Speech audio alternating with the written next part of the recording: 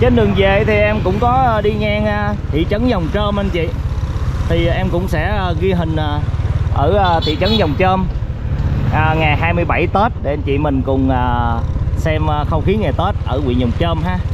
Đây khúc này thì mình cũng làm cái chợ hoa ở đây ha.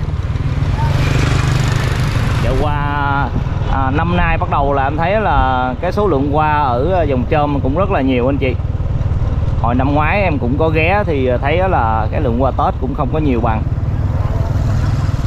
Năm ngoái thì do tình hình dịch bệnh đồ khó khăn ai ra kinh doanh người ta cũng ngán hết. Sợ nhiều khi ờ, ra bán nhiều khi ờ, sợ người dân không có tiền mua.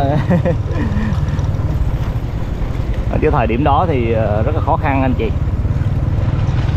Bây giờ thì ở chợ hoa thấy là bắt đầu là à, cái lô hoa tết lên cũng rất là nhiều rất là đông vui thường thì ở các chợ hoa là mình à, sẽ đông vào những cái buổi à, sớm sớm ha, sáng sớm rồi à, tới chiều. Chiều mát mẻ thì sẽ đông vui hơn.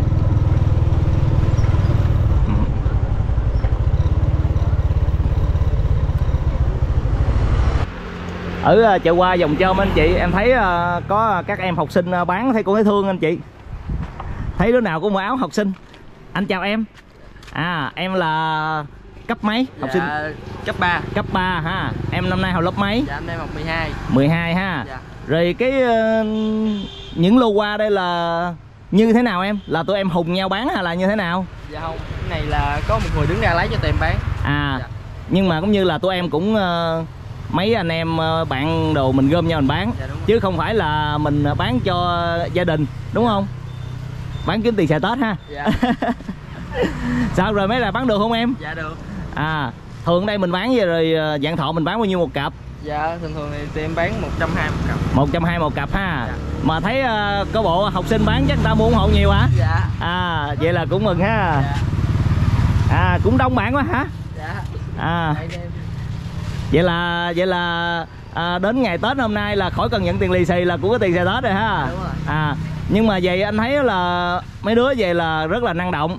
Nói chứ giờ mình à, còn học sinh á mình tập từ từ để mốt mốt mình ra đời á cho nó lanh lẹ hơn xíu. Dạ. Mai mốt mình đi học Sài Gòn á nhiều khi à, mình à, vừa đi học vừa đi làm để khỏi xài tiền gia đình. Gia đình phụ cho nó nhẹ hơn xíu. Ừ. à, các bạn ở đây là học sinh của trường dòng chôm anh chị à, các bạn thì à, bán à, qua dạng thọ ha. Thì à, các anh chị nào mà ở dòng á, thì mình ghé cho các ghé ủng hộ cho các bạn nha. À, dạng thọ thì 120 một cặp. Rất là đẹp anh chị. Các bạn bán chủ yếu là để mình trải nghiệm bản thân đúng không? Dạ đúng trải nghiệm bản thân ha. Rồi sao mấy em gái? À, mấy đài bán được không em? Dạ được. À kéo nón xin lên anh mới thấy. Rồi sao em cái này là giống như là mình trải nghiệm bản thân đúng không? Dạ hay là hay là mình à, kiếm tiền à, xài xài tết em? Dạ trải nghiệm bản thân. À anh à, cũng nói thật vậy. Anh nói là anh có à, bé gái. Năm nay là học lớp à, 11 học trường Hetman ở thành phố Bến Tre. Là bé thì nói à, thôi giờ lớn thôi giờ cũng đi trải nghiệm bản thân. Bé phụ à, bán quán cà phê ở cà phê à, An Hội ở Bến Tre. Một một tiếng đồng hồ chỉ có 15 ngàn thôi mà anh nói thôi kệ. Muốn trải nghiệm bản thân thì đặng mình à, cảm thấy mà mình mốt mình ra đời mình tự tin hơn. Ừ. mấy em là như là bạn học cùng lớp hết hay sao em? Dạ bạn học cùng lớp hết luôn. À. Rồi ờ, mấy đài ờ, bán thấy ờ, như thế nào em? Ở chợ hoa mình á. Cái sức cái sức mua của của khách á. Dạ cũng Mấy ngày đầu thì hơi ít nhưng Ừ. Nghĩ gần 30 thì sẽ mua đông. À. À. Nhưng mà anh nghĩ là các em bán là sẽ được. Tại vì ờ, là học sinh ờ, bán á, cái này là anh thấy một điều rất là bất ngờ thấy dễ thương. Thôi thì ờ, tụi em ờ, cũng ờ, cố gắng ha. Mình ờ, bán năm nay cái ờ, năm sau mình đi Sài Gòn á mình có cái kinh nghiệm rồi. Có thể là mình ờ, ra đời mình sẽ tự tin hơn ha. Rồi anh chúc các em bán đắt nha. Cái này là hồi anh quảng anh quảng cáo giúp tụi em rồi tụi em bán sẽ mau hết hàng ha. Năm mới vui vẻ. À rồi anh cũng cảm ơn em ha. À, thì à, các bạn à, bán ở đây là hoa dạng thọ anh chị. Hoa thì à, rất là đẹp. Một cặp như vậy thì 120 ngàn thì là cũng à, rất là đúng giá anh chị. Cũng không mắc ha. Thí dụ như các bạn bán mắc hơn xíu thì các anh chị cũng ủng hộ cho các em. À xuống thêm hả? Này của mình nữa hả? Của người ta ha. À rồi anh chúc các em bán đắt hàng nha. À, ráng trải nghiệm cuộc sống để mốt mình ra đời mình tự tin hơn người ta nha em nha. Dạ. À rồi thôi anh đi ha. Ơn à, nhìn thấy à, hình ảnh à, các em học sinh đi bán qua Tết rất là dễ thương anh chị. Thật sự thì à, không phải là thiếu tiền xài không phải là gia đình à, mà à, không có khả năng. À, chủ yếu thì các em cũng muốn à, trải nghiệm à, bản thân để mình ra đời sớm là mình à, sẽ tự tin hơn anh chị ha. Nhưng mà thấy thì cũng rất là hay. Thì anh chị ở bến à, anh chị ở dòng chôm thì à, ghé mua ủng hộ cho các em nha. À, năm nay thì ở à, chợ qua dòng chôm anh thấy là cái số lượng qua và các lô cũng rất là nhiều anh chị. Thì à, tình hình dịch bệnh thì đã lắng xuống và hết hẳn thì bây giờ là kinh tế mình phải phát triển hơn chứ không có thể nào mà ì ạch như những cái năm mà à, kinh tế đang khó khăn à, về dịch bệnh ha. À, giờ này em đi thì cũng gần 11 giờ trưa rồi anh chị nên là đường phố thì cũng tương đối là nhộn nhịp nhưng mà ở trong chợ thì có thể là mình sẽ vắng hơn. Thường thì bà con của mình đi chợ rất là sớm. Đi à, từ à, 5 6 giờ sáng à, đi tới 9 10 giờ.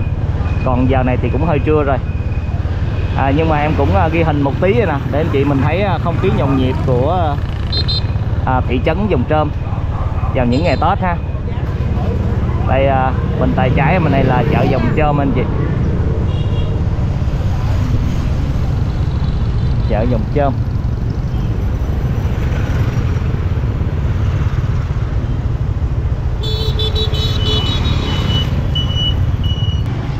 Do là những ngày Tết anh chị nên là chợ các chợ thì ờ, sáng trưa chiều tối lúc nào cũng đông hết á. Các mặt tiền ờ, đường phố thì người ta cũng buôn bán nên là người dân người ta cũng ờ, đi mua đồ suốt à. Do là hôm nay cũng là, là ngày 27 Tết rồi nên là người dân người ta đi chợ để người ta sắm sửa cho kịp vào để mình à, à, chuẩn bị cho cái những ngày những ngày Tết gia đình á.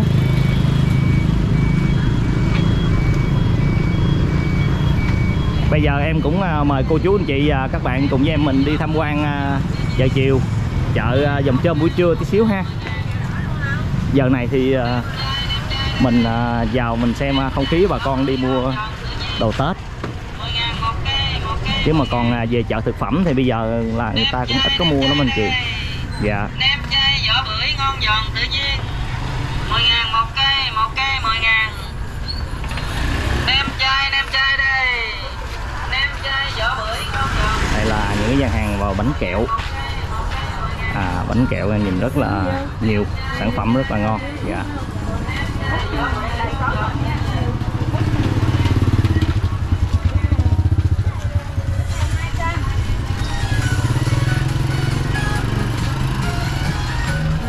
À, chợ Tết thì lúc nào cũng sẽ sum tụ hơn anh chị. À, đây cũng là bánh kẹo ha. Bánh mứt. À bánh... dạ con chào cô. Ngày Tết con đi ghi hình ở chợ cho thấy không khí ngày Tết vui vẻ. Dạ rồi con cảm ơn cô. À, đây cũng là những gian hàng bánh kẹo. À, đủ các loại mứt anh chị ha. Như là mứt chuối mứt khóm rồi à, mứt dừa. Để à, mình à, mua về để mình à, để sẵn thì à, Tết khách đến ờ, khi uống trà nói chuyện đâu. Cũng rất là tiện. Ừ. đây là dưa kiệu dạ giao chào ba. À, chợ thì bây giờ người ta cũng nghỉ rồi anh chị. Tại như là những cái hàng thực phẩm thì người ta đi mua rất là sớm.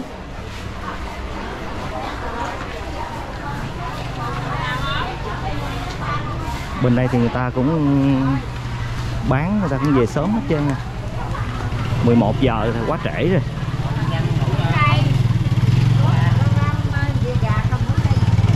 em qua cái nha à, những gian hàng thì ta cũng về sớm hết trơn nè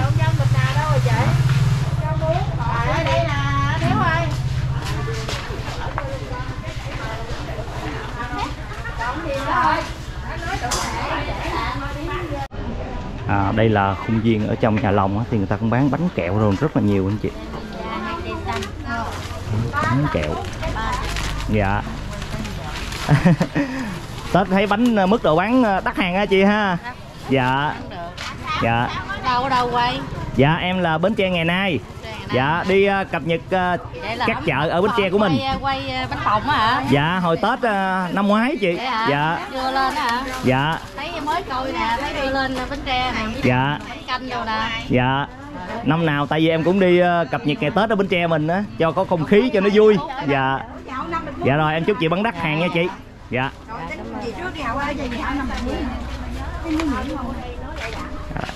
Xin của tôi trước đi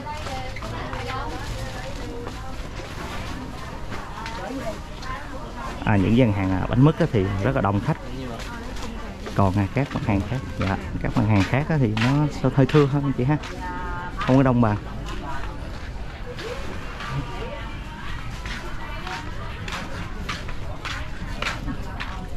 Chào các bạn. Mấy ngày tết này à, bán được không các bạn? Đỡ rồi à thấy bánh mứt thấy ta mua tấp nập luôn á. Ừ. anh cũng à, chúc các em bán đắt nha. Dạ dạ À. à. các gian hàng à, bánh mứt á thì lúc nào nó cũng nhìn nó hấp dẫn. Chào các bạn.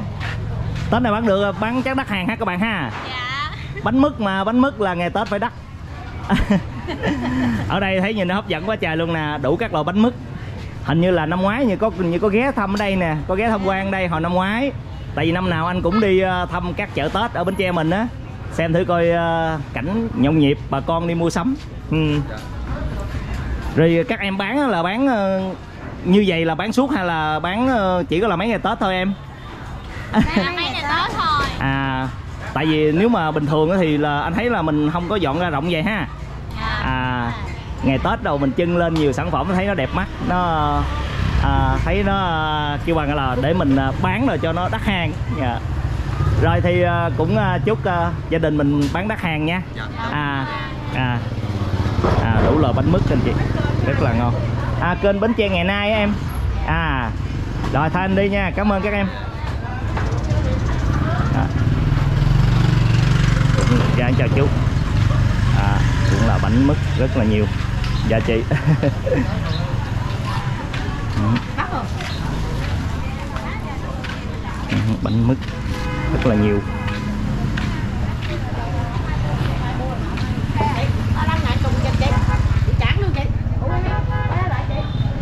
À, các mặt hàng như là thực phẩm đồ thì à, bà con à, bán thì nó cũng hàng ngày rồi còn đến ngày tết thì mình sẽ ưu tiên như, như những cái loại như là bánh mứt đồ trái cây hoặc là những cái đồ gì mà mình để phục vụ ngày tết thì à, bà con bán sẽ đông vui hơn sẽ đắt hàng hơn anh chị ha.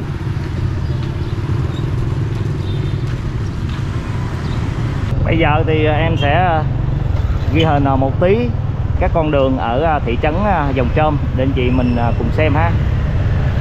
Chợ thì giờ này cũng là chợ chiều chợ trưa rồi anh chị nên là à, người dân đồ đi à, mua thực phẩm đồ thì cũng không có nhiều. Chủ yếu là các loại như là những mức à, khô rồi à, à, trái cây. Để mình à, về à, chuẩn bị cho ngày Tết hoặc là cúng kiến à, rước ông bà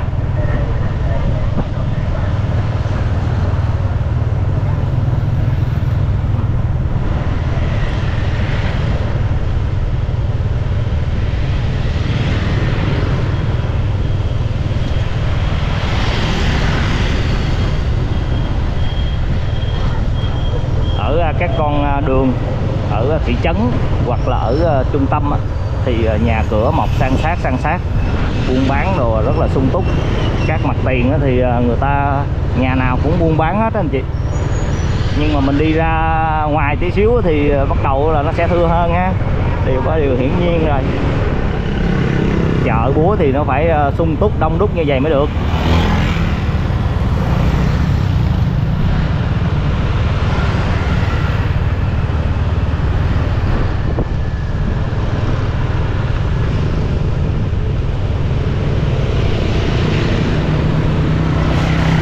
Những ngày này thì ờ, trên các con đường đâu đâu cũng đẹp.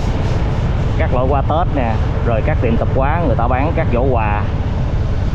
Nhìn rất là à, bắt mắt đủ màu sắc.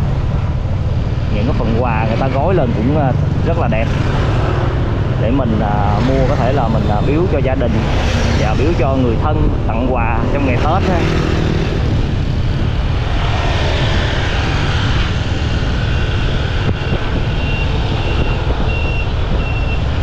Hôm nay thì bắt đầu là học sinh, có lẽ là học hết ngày hôm nay là bắt đầu đã nghỉ ờ, Tết hẳn rồi đó anh chị.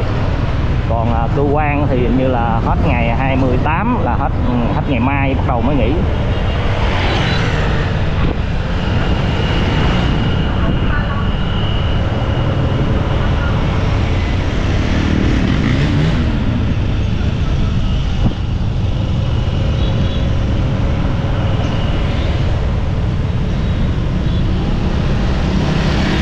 đến những ngày Tết này anh chị em đi ờ, rất là nhiều. Nhưng mà cảm thấy thì ờ, nó cũng không mệt mỏi mấy. Tại vì mình đi đến đâu ờ, không không khí nó cũng rất là đông vui. Mình đi tới một tí bắt đầu cái mình thấy cái cảnh đẹp, hoa đẹp, các tiểu cảnh đẹp. Cái mình cũng ngắm tí xíu. Cảm thấy rất là sảng khoái, không có mệt mỏi mấy. Chứ mà bình thường như mình đi công việc gì đó, mình đi khoảng chừng một, hai tiếng đồng hồ là ngồi là đau lưng, ngồi là mệt mỏi rồi hôm nay ờ, đi thì cảm thấy ờ, rất là vui anh chị.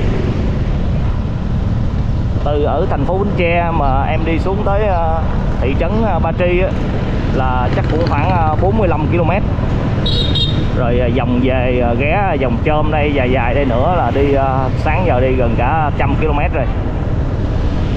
Cảm thấy đi thì cũng không có mệt mỏi mấy, cảm thấy vui khỏe hơn nhiều. Giống như là mình đi dạo qua à, nếu mà cái đoạn đường mà từ ở ờ, ngay chỗ ờ, chợ đêm Bến Tre mình đi tới ờ, ngay cầu Mỹ Quá là cầu Bến Tre 2 á là cũng ừ, chắc hơn hơn 3 cây hơn 3 km. Nhưng mà mình đi mình cũng không không mệt mỏi gì anh chị. Thấy qua Tết rồi, rồi người dân người ta đi ngắm qua Tết nói chuyện vui đùa với nhau rồi mình cũng cảm thấy rất là vui. Nên là không không không có biết mệt mỏi luôn.